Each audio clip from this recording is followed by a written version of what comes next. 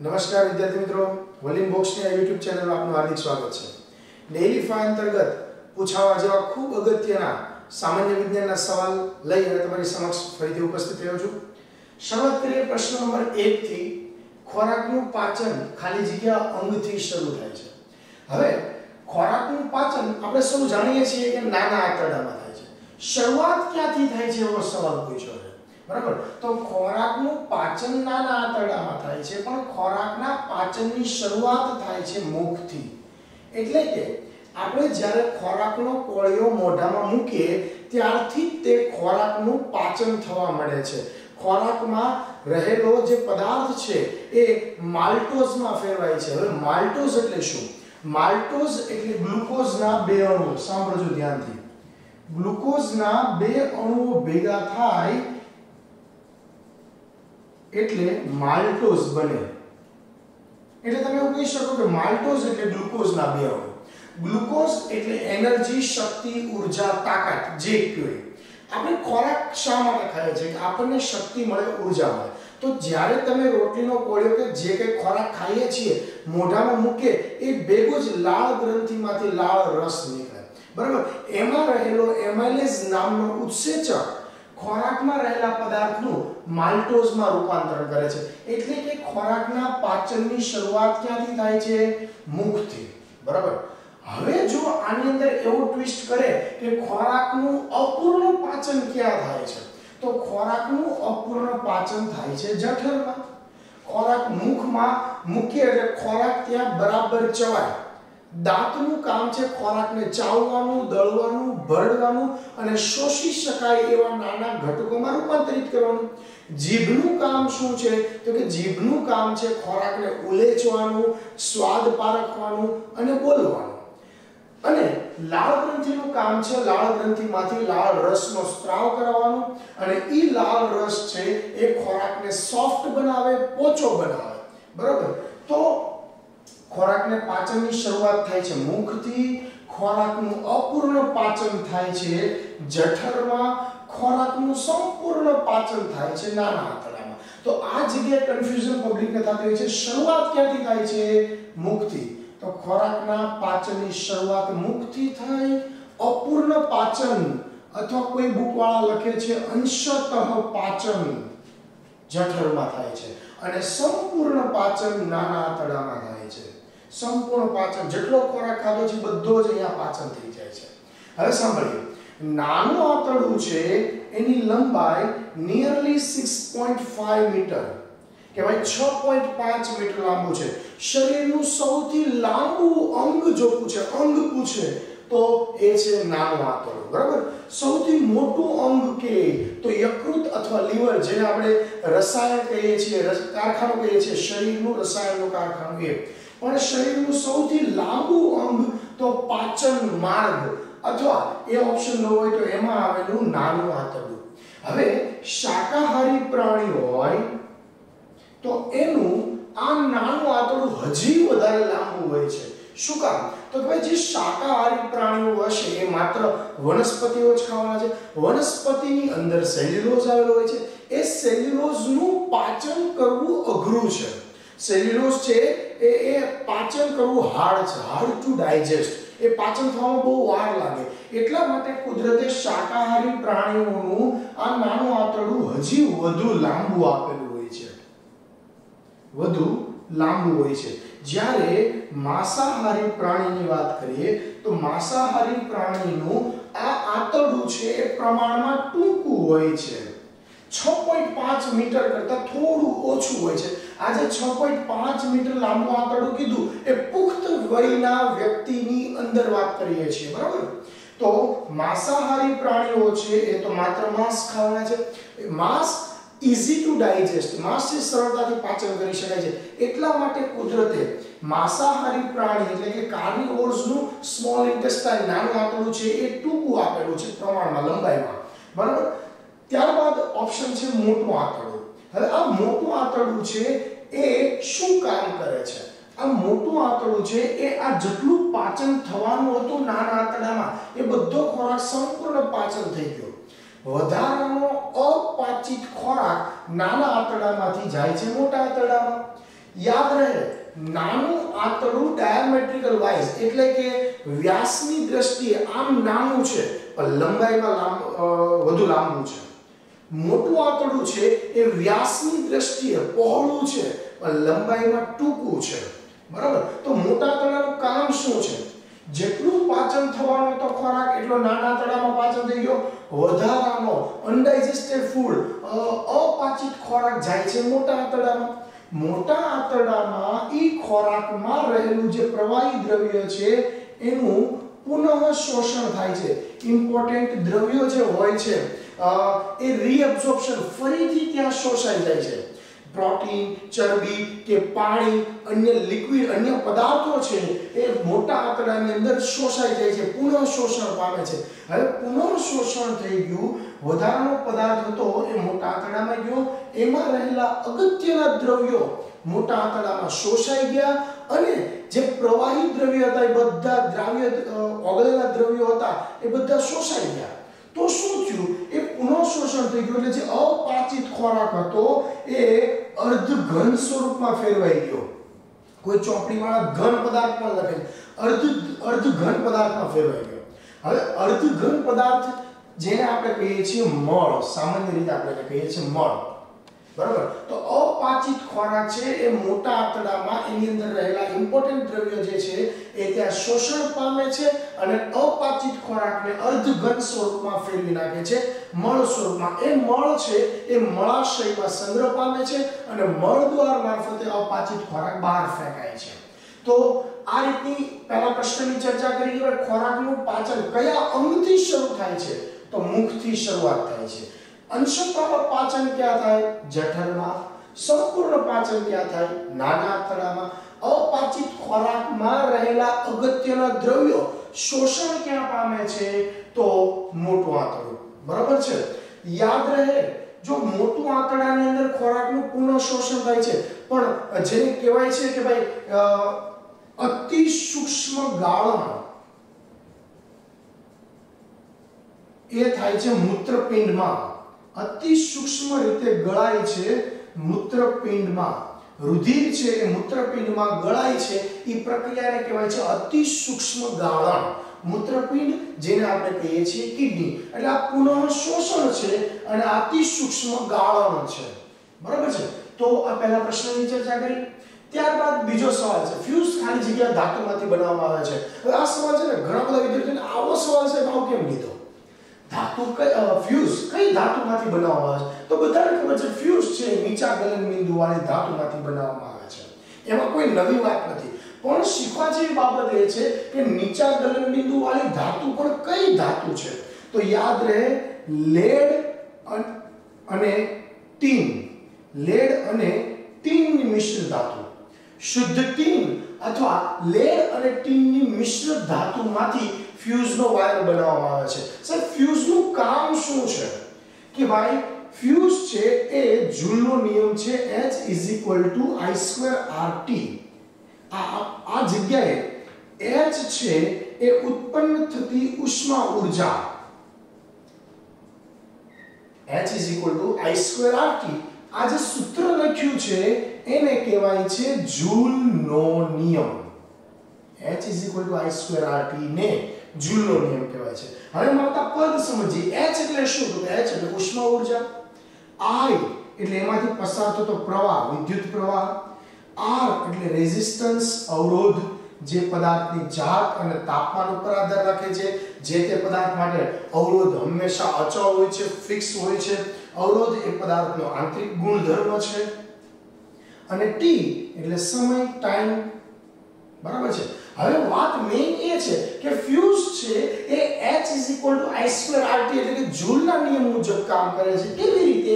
તો કે ભાઈ જ્યારે ફ્યુઝમાંથી વિદ્યુત ઊર્જા પસાર થશે, ત્યારે એ પ્રવાહ પસાર થાય I. વિદ્યુત પ્રવાહ પસાર થાય એટલે ઉષ્મા, વિદ્યુત ઊર્જા છે એમાંથી ઉષ્મા ઊર્જામાં રૂપાંતરણ થાય છે.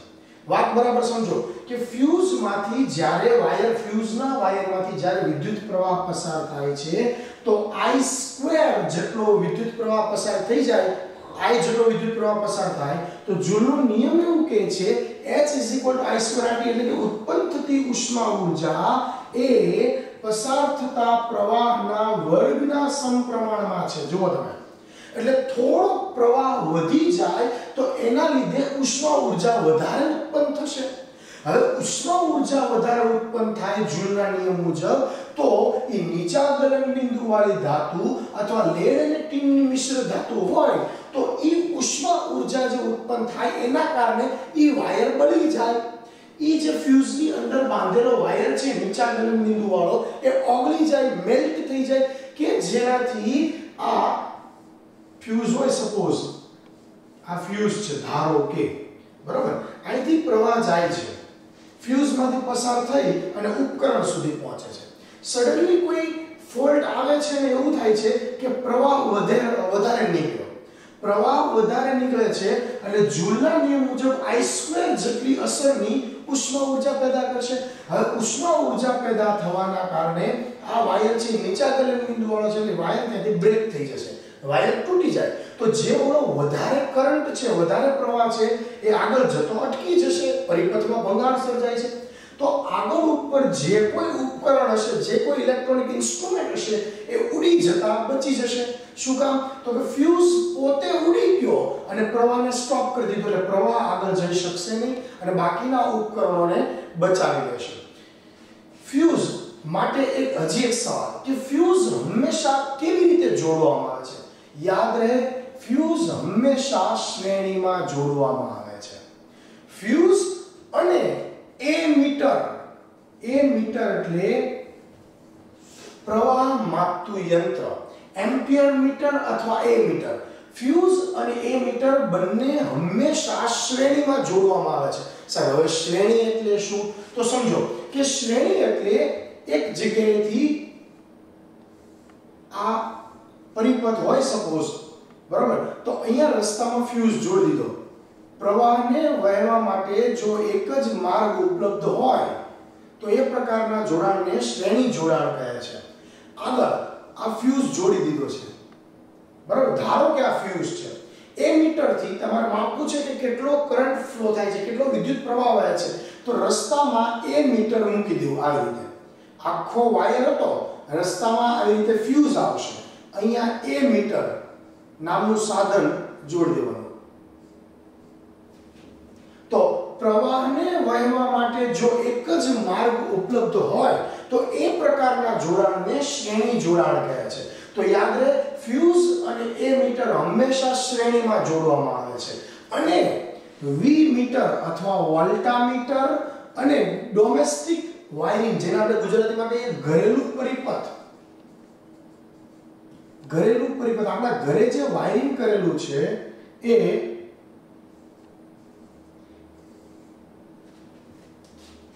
આપણા ઘરે જે વાયરિંગ કરેલું છે, એ બંને વાયરિંગ છે સમાંતરમાં છે. તો ધ્યાન રહે, શ્રેણીમાં કઈ કઈ વસ્તુ જોડવામાં આવે છે? ફ્યુઝ અને એ મીટર હંમેશા શ્રેણીમાં હોય છે. ઘરેલું પરિપથ ઘરે જે વાયરિંગ કરેલું હોય છે, એ અને વી મીટર હંમેશા સમાંતરમાં જોડવામાં આવે છે. ભાઈ તમે આપણે ટોપિક ઉપર પાછા આવીએ. ફ્યુઝ ખાલી જગ્યા ધાતુમાંથી બનાવવામાં આવે છે. તો મોસ્ટ ઓફલી પબ્લિક ઉતાવળ કરી અને નીચા ગલનબિંદુ વાળી ધાતુ ટીક કરે. બીજા ઓપ્શન વાંચીએ.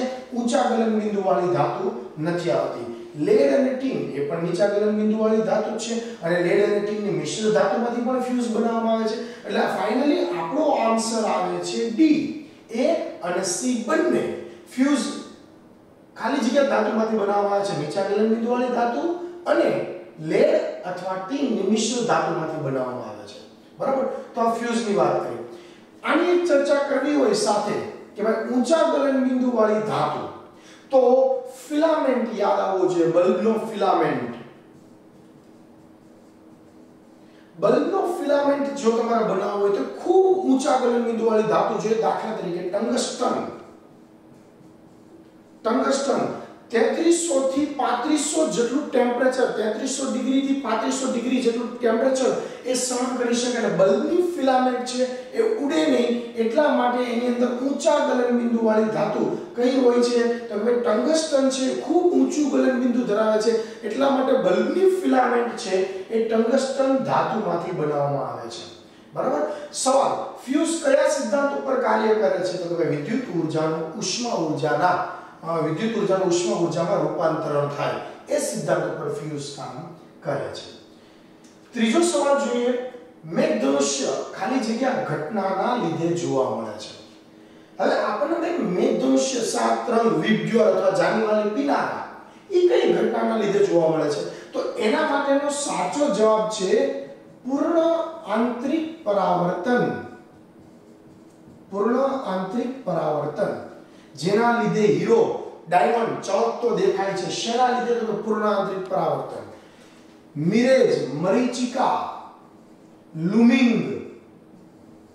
લુમિંગ એટલે સમુદ્રની અંદર તમે જાઓ તો ચારે બાજુ જો પાણી હોય તો સામે રહેલી કોઈ વસ્તુ, કોઈ બોટ આમ થોડી હવામાં લટકતી હોય એવું આપણને લાગે. એ ઘટનાને લુમિન કહેવાય છે. મિરેજ એટલે ડામર રોડ ઉપર આપણે દૂર નજર કરો, તો ત્યાં આપણને પાણી હોય એવો આભાસ થાય. જેને કહેવાય છે મૃગ જળ બરાબર? અને ઇંગ્લિશમાં કહે છે મેરેજ એ પણ પૂર્ણ આંતરિક પરાવર્તનના લીધે ઘટના જોવા મળે છે. ઓપ્ટિકલ ફાઇબર પર પૂર્ણ આંતરિક પરાવર્તનના લીધે જોવા મળે છે. પણ આપણો સવાલ છે મેઘધનુષ્યમાં કઈ ઘટના જોવા મળે છે? અથવા એ કોઈ એક્ઝામની અંદર એવો સવાલ પૂછાયેલો કે મેઘધનુષ્યમાં જોવા મળતી ઘટના ક્રમ અનુસાર ગોઠવો. હવે એને ક્રમ અનુસાર કઈ રીતે ગોઠવવું? ધ્યાનથી સાંભળો. આ ધારી લો કે કોઈ વાદળ છે વાદળું અથવા પાણીનું બુંદ છે, પાણીનું ટીપું છે. અહીંયા સૂર્યમાંથી કોઈ પ્રકાશનું કિરણ આવે છે. બરાબર? વરસાદ પડી ગયો હોય અથવા પડતો હોય તો ઝરમરિયું શરૂ હોય, ત્યારે સૂર્યની હંમેશા વિરુદ્ધ દિશામાં મેઘધનુષ્ય દેખાય છે. સૂર્યની હંમેશા વિરુદ્ધ દિશામાં. સૂર્યમાંથી પ્રકાશનું એક કિરણ આવે છે. આ વાદળ છે જે પાણીનું ભરેલું છે. હવે જેવું પ્રકાશનું આ શ્વેત પ્રકાશનું કિરણ અથવા સૂર્યપ્રકાશ છે, જેવો વાદળની અંદર ઘૂસે એ ભેગો એ છૂટા છૂટા રંગોમાં, એના ઘટક રંગોમાં વિભાજિત થઈ જાય છે. એટલે એ ઘટનાને કહેવાય છે પ્રકાશનું વિભાજન. પ્રકાશનું એના ઘટક રંગમાં વિભાજિત થવાની ઘટનાને કહેવાય છે પ્રકાશનું વિભાજન. પ્રકાશ છૂટો પડી ગયો સાથે સાત રંગમાં. હવે પ્રકાશ છે એ વાદળમાં સાથે સાત રંગ જેમ જેમ આગળ વધતા જાય, એમ એમ એ વક્રી ભવન પામતા જાય છે. સેજ સેજ વાંકા વળતા જાય છે. બરાબર? એક સમય એવો આવે કે સંપૂર્ણ રીતે પરાવર્તન પામે છે. સંપૂર્ણ રીતે વાંકા વળીને પાછા આવે છે. તો યાદ રાખો, પરાવર્તન એટલે શું? તો કે અથડાઈને પાછા આવે, તો એને કહેવાય છે પરાવર્તન. વક્રી ભવન કોને કહેવાય છે? તો કે અથડાઈને વાંકા વળી જાય. બરાબર? પરાવર્તન એટલે શું? અથડાઈને પાછા ફરવું. વક્રી ભવન એટલે શું? તો કે ભાઈ, અથડાઈને દિશા બદલવી, અથડાઈને વાંકા દિશા બદલવી. અથડાઈને પાછો આવે તો પરાવર્તન. અથડાઈને દિશા બદલી જાય. બદલી નાખે તો એને કહેવાય વક્રી વિભાજન એટલે હું, તો કે ભાઈ, અથડાઈને વિખેરાઈ જવું તો આ ધ્યાનમાં રહે. સૌથી પહેલા પ્રકાશના કિરણો આવ્યા. પહેલા તો અથડાણા. માધ્યમ બદલાવો એટલે હવામાંથી પાણીમાં જાય અથડાણા. વિભાજન થઈ ગયું. તો પહેલા વિભાજન થઈ ગયું પ્રકાશનું. પછી શું થાય? જેમ જેમ આગળ વધતા જશે પરાવર્તન વક્રીભવન પામે છે. એટલું વક્રીભવન પામે એક સમય એવો કે બધા ત્યાંથી પાછા ફરે છે. પરાવર્તન પામે છે. પરાવર્તન. પણ કેવી રીતે? પૂર્ણ. પૂર્ણ એટલે બધા જ કિરણો આખે આખા આંતરિક એટલે અંદરની બાજુએ છે. પરાવર્તન એટલે પાછા ફરવું તો બધા જ કિરણો અંદર ને અંદર જ પરાવર્તન પામે છે. એટલા માટે એને કહેવાય છે પૂર્ણ આંતરિક પરાવર્તન. પરાવર્તન પામી ગયા. હવે જ્યારે માધ્યમ બદલે છે, જ્યારે પ્રકાશના કિરણો આવી રીતે અહીંથી બહાર નીકળતા હોય છે, ત્યારે માધ્યમ બદલે એટલે આ જગ્યાએ થવાનું છે વક્રીભવન આ જગ્યાએ થાય છે પૂર્ણ આંતરિક પરાવર્તન. જ્યારે પ્રકાશ અંદર એન્ટર થાય છે, ત્યારે બે ઘટના સાથે થાય છે. પહેલી વક્રીભવન માધ્યમ જેટલી વાર બદલાય, એટલી વખત વક્રીભવન થાય. તો પહેલા વક્રીભવન પણ પામે છે અને વિભાજન પણ પામે છે. ગુજરાત બોર્ડના જૂના સિલેબસમાં જોશો, તો એને ખાલી વિભાજન પહેલા કીધું છે કે ભાઈ પહેલા વિભાજન થાય, પછી પરાવર્તન થાય અને પછી વક્રીભવન થાય છે. નવા સિલેબસની અંદર અપગ્રેડ કરીને લોકો એવું આપ્યું છે કે ભાઈ પહેલા વક્રીભવન અને વિભાજન થાય, પછી પરાવર્તન થાય અને ફરી પાછું વક્રીભવન થાય છે. એટલે અહીંયા કોઈ વ્યક્તિ જો ઊભો હોય તો એને એવું લાગે કે સામે સાત રંગ જાનીવાલી પીનારા દેખાય છે. હકીકતમાં એ સાત રંગ છે, એ એક આભાસી ઘટના છે. બરાબર? વાસ્તવમાં ત્યાં સાત હોતા નથી. આ લૂમિંગ, આ મેરેજ એ બધી આભાસી ઘટના છે, વાતાવરણીય વક્રીભવનના લીધે થતી આ ઘટના છે. બરાબર? મેઘધનુષ્ય ખાલી જગ્યા ઘટનાના લીધે જોવા મળે છે. તો અહીંયા પરાવર્તન પણ થાય છે વક્રીભવન પણ થાય છે અને વિભાજન પણ થાય છે. આમ, ઉતાવળે આન્સર ટીક ન કરતા બધા જ ઓપ્શનનું બરોબર એનાલિસિસ કરી અને પછી જ ટીક કરો કે ભાઈ બધા બધી જ ઘટના થાય છે, પરાવર્તન થાય છે વક્રીભવન થાય છે અને વિભાજન પણ થાય છે. બરાબર છે? મેઘધનુષ્ય વિશે નવી માહિતી આપું. મેઘધનુષ્ય બે પ્રકારના હોય છે સર એક પ્રાથમિક મેઘધનુષ્ય હોય છે, એક ગૌણ મેઘધનુષ્ય હોય છે. સર બેમાં ફરક શું છે? પ્રાથમિક મેઘધનુષ્ય પ્રમાણમાં ડાર્ક હોય છે, ચોખ્ખું દેખાય. જ્યારે ગૌણ મેઘધનુષ્ય છે, સેકન્ડરી રેઇનબો છે, એ પ્રમાણમાં ઝાંખું હોય છે, સહેજ ઓછું આછું દેખાતું હોય છે. પ્રાથમિક મેઘધનુષ્ય છે, જે મેઇન મેઘધનુષ્ય છે, એની અંદર જાની વાલી પીનારા નીચેથી હોય છે. જાની વાલી પીનારા નીચેથી ઉપર હોય છે. જો ગૌણ મેઘધનુષ્ય હોય, તો એમાં નીચેથી ઉપર ઊંધા રંગ હોય છે. જાની વાલી પીનારા ઉપરથી નીચે હોય છે. બરાબર છે? તો મેઘધનુષ્ય બે પ્રકારના હોય છે. આપણે જનરલી સાદું મેઘધનુષ્ય કન્સિડર કરીને આગળ ચાલો જો કોઈ સવાલ પૂછાય તો આપણે મેઘધનુષ્ય પ્રાથમિક મેઘધનુષ્ય સમજવું, ગૌણ મેઘધનુષ્ય હશે તો એ લોકો ચોખવટ કરશે કે ભાઈ ગૌણ મેઘધનુષ્યમાં રંગોનો ક્રમ નીચેથી ઉપર અનુક્રમે કયો હોય છે, તો જાણીવાળી પીનારા ઉપરથી નીચે લખો. પણ જો એવી કોઈ ચોખવટ ન કરે કે ભાઈ મેઘધનુષ્યના રંગોનો ક્રમ, તો જાણીવાળી પીનારા નીચેથી ઉપર આવી રીતે લખો. ઓલામાં ઉપરથી નીચે જાણીવાળી પીનારા પછીના સવાલ ઉપર આપણે આગળ વધીએ.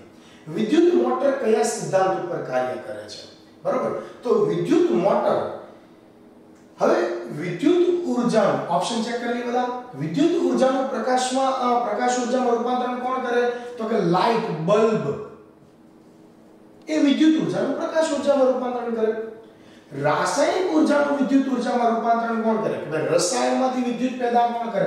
તો વોલ્ટાનો કોષ, અથવા જેને આપણે કહીએ વોલ્ટેક સેલ વોલ્ટેક સેલ, અથવા આપણે સાદી ભાષામાં જેને કહીએ બેટરી પાવર એ રાસાયણિક ઉર્જાનું વિદ્યુત ઉર્જામાં રૂપાંતરણ કરે. વિદ્યુત ઉર્જાનું યાંત્રિક ઉર્જામાં રૂપાંતરણ. તો સમજો કે વિદ્યુત ઊર્જા તમે આપો અને યંત્ર, એ મશીન કામ કરે છે, તો આના ઉદાહરણમાં આપી શકીએ આપણે વિદ્યુત મોટર.